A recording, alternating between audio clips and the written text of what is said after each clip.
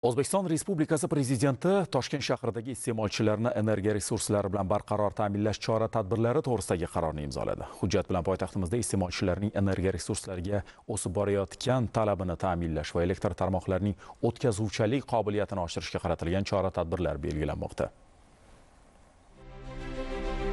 Mamlakatimizda elektr energiya tizimining barqaror ishlashiga erishish va xalqimizni bu muhim manba bilan uzluksiz ta'minlash yo'lida katta ishlar boshlangan. 2026 yilga borib jami generatsiya quvvatlarini 27400 megavatga yillik ishlab chiqarish hajmini 110 milliard kilovat soatga yetkazish maqsad qilingan. Poytaxtimizda iqtisodiyot rivojlanib korxonalar ko'payishi bilan energiya resurslariga talab ham oshyapti. Mamlakatimiz prezidentining toshkent shahridagi iste'molchilarni energiya resurslari bilan barqaror ta'minlash chora tadbirlari to'g'risidagi qarori. Poytaxt iste'molchilarining energiya resurslariga o'sib borayotgan talabini ta'minlash va elektr tarmoqlarining o'tkazuvchanlik qobiliyatini oshirishga qaratilgan.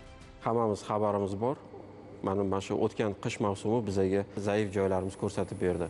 Qanchalik bizda elektr energiyaga talab yuqoriligini aholida va bizani yetkazib berish e, tarmoqlarimiz qanchalik kuchsizligini ko'rsatib berdi. Shu asosida prezidentimiz tomonidan yangi hujjat qabul qilindi va davlat rahbari tomonidan berilgan topshiriqqa asosan biz rejalarimizni qayta ko'rib chiqdik. Bizni yangi stansiyalar qurish xususan yashil energetika fotoelektrostansiyalarni rivojlantirishni maqsad qilib qo'yganmiz. Qaror bilan toshkent shahrini elektr ta'minotini diversifikatsiya qilish maqsadida 15 ta loyiha tasdiqlandi. Qaror bilan toshkent viloyatining yuqori chirchiq tumanida saudiya arabistonining aquapower kompaniyasi ishtirokida quvvati 400 megawatt bo'lgan. Xitoy xalq respublikasining china gajuba group kompaniyasi ishtirokida quvvati 700 megawatt bo'lgan quyosh fotoelektr stansiyalari quriladi. Joriy yil yakunigacha har ikkala stansiyaning 100 megawattga teng bo'lgan birinchi bosqich quvvatlari ishga tushiriladi.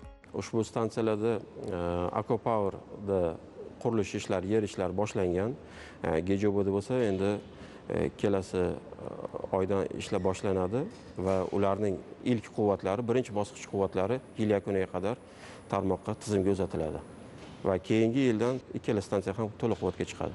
Shuningdek qaror bilan 2023 yilda toshkent shahri elektr ta'minotini yaxshilashga qaratilgan 35-110 kilovolt kuchlanishli elektr tarmoqlarini rivojlantirish loyihasi ham tasdiqlandi. Mazkur loyihada yunusobod shayxontohur mirzo ulug'bek yashnobod va yangi hayot tumanlarida umumiy quvvati 664 megavolt amper bo'lgan 5 ta 110 kilovolt kuchlanishli podstansiya hamda 49.6 kilometr uzunlikdagi 35 kilovolt va 110 kilovolt kuchlanishli elektr uzatish tarmoqlarini qurish.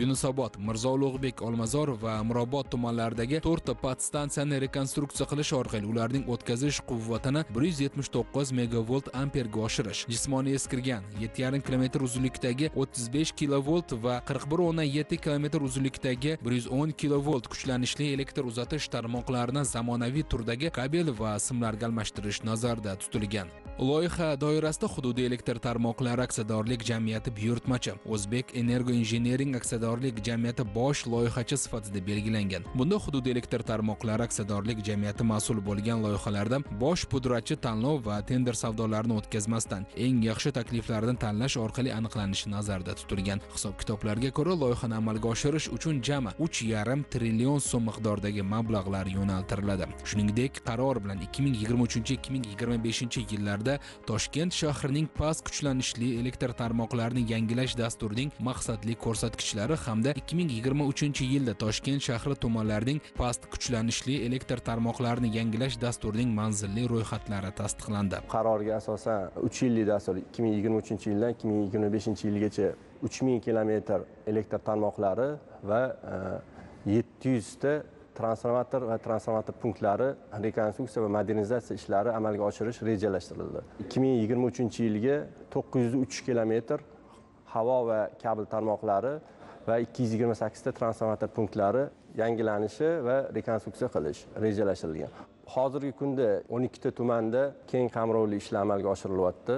3 yillik dasturda ma'nan eskirgan kabel tarmoqlari yangilangandan so'ng o'tishlar soni keskin kamayadi va zo'riqib ishlayotgan transformatorlar kuchlanishi e, normal holatga keladi. Qarorga ko'ra hududiy elektr tarmoqlari aksiyadorlik jamiyati 3 oy muddatda moliyalashtirish manbalarini aniq belgilagan holda respublikaning boshqa hududlaridagi elektr tarmoqlarini rivojlantirish bo'yicha rejalarni ishlab chiqadi. Bunda shaharlarda va yirik aholi punktlarida 35-04 kilovolt kuchlanishli transformatorlardan foydalanishni kengaytirish tarmoqlarni 10 kilovolt va 35 kilovolt kuchlanishga o'tkazish orqali 6 kilovolt kuchlanishli elektr tarmoqlarini bosqichma bosqich ekspluatatsiyadan chiqarish hamda 0.4 kilovolt kuchlanishli elektr uzatish tarmoqlarining uzunligini qisqartirish. Shaharlarda va yirik aholi punktlarida 35 kilovolt va 110 kilovolt kuchlanishli yangidan quriladigan podstansiyalarni yopiq turga o'tkazish kabi talablar inobatga olinadi. Bir so'z bilan aytganda ushbu qaror aholi va iqtisodiyot tarmoqlarini elektr energiyasi bilan barqaror ta'minlash energiyadan foydalanish samaradorligini oshirish va tarmoqlarda yo'qotishlarni kamaytirish xalqimiz farovonligini oshirishdek ezgu maqsadlarga xizmat qiladi.